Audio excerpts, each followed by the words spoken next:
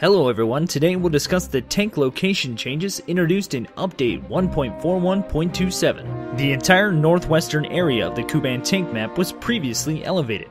Players who took this position were able to freely shoot players to the southeast, while those players under fire had to climb uphill to reach their opponents. In realistic and simulator battle modes, this gave an advantage to the northern side. We've introduced the following changes. The entire northwestern part of the map has been made flatter, while all its landscape elements have been kept. In spite of the fact that this part of the map is still higher than the southeastern part, it no longer provides such a significant advantage and it is now far easier for the southern side players to attack the opponent since the climb is now less steep.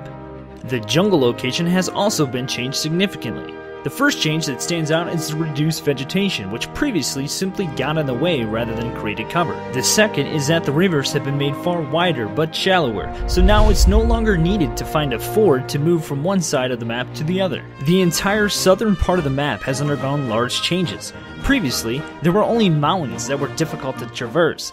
Now there is a road and a lake, several convenient flanking routes, and key firing positions have been added. All the hills in the central part have been made flatter and additional bypass routes have been added around them. And finally, the beach has been changed significantly.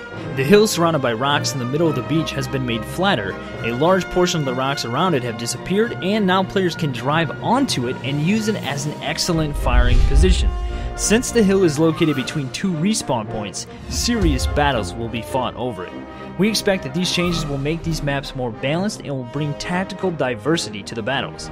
You can find the latest change log under the video. Please subscribe to our YouTube channel, and we'll see you on the battlefield.